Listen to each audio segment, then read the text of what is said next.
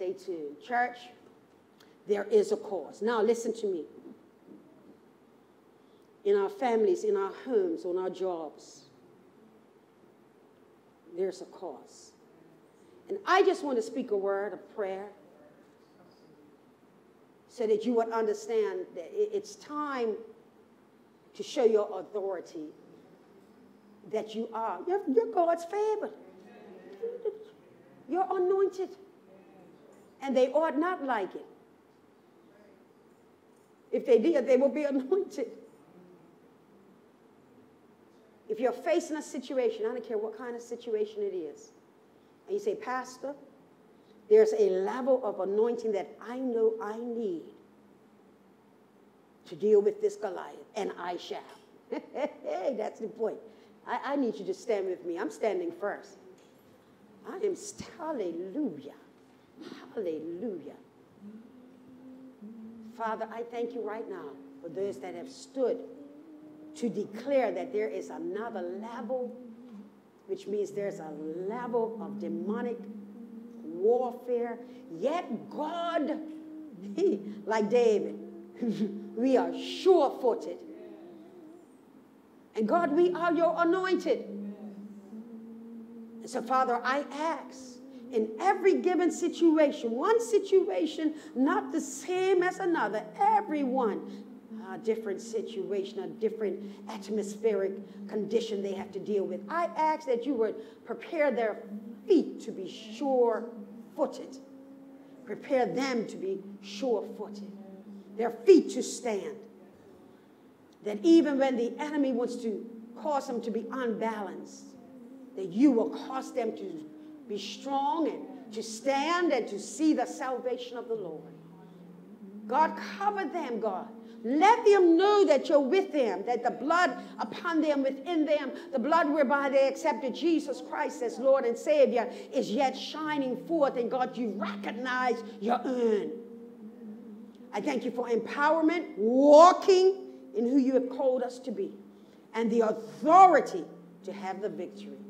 Thank you for it, God. Thank you for your word that demonstrates that we are the victor and we have the victory. Thank you for it. In Jesus' name we pray. And everyone says, Amen. Amen. Overshadow me in the shelter. In the shelter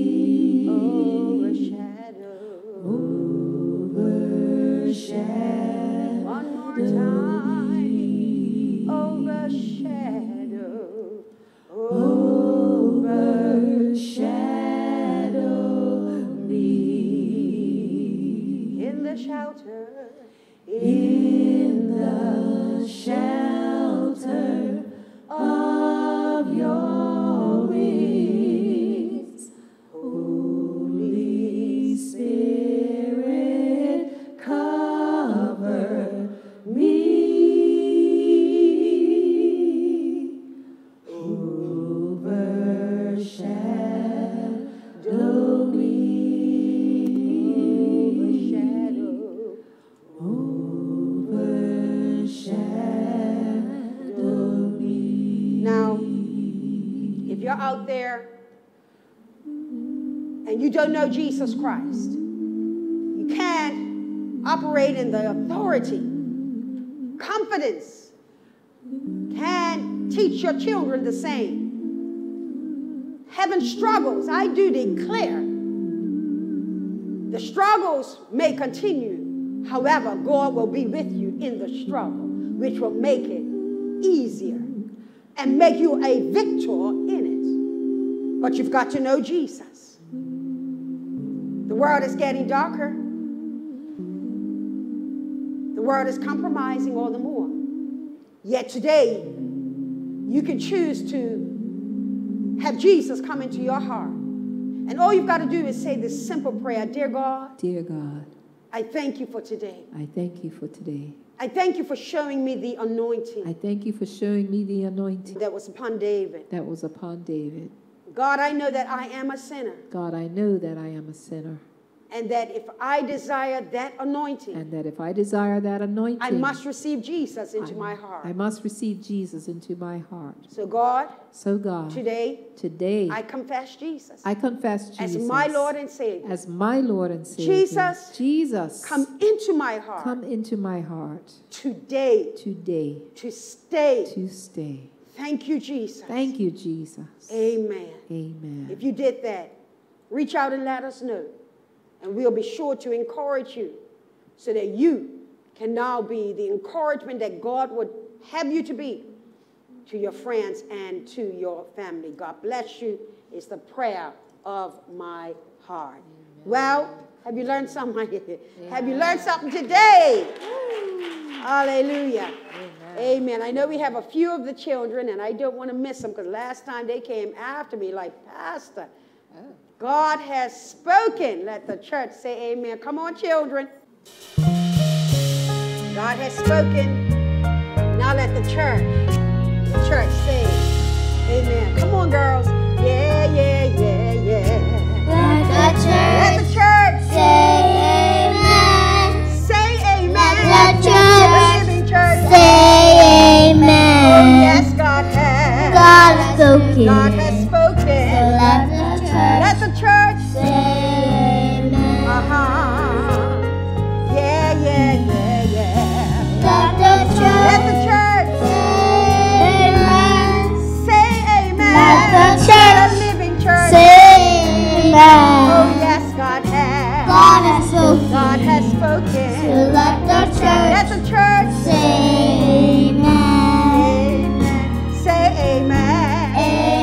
Oh, come on, church.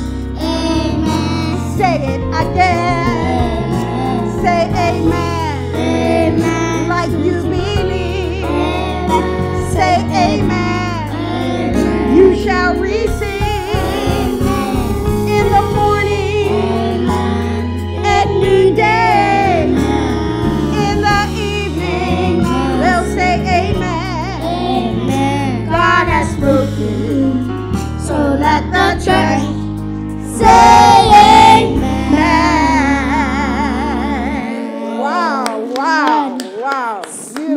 Beautiful, beautiful. Good, better, best. Uh-huh. Never let it rest until you're good and better and better is best. Wow, wow.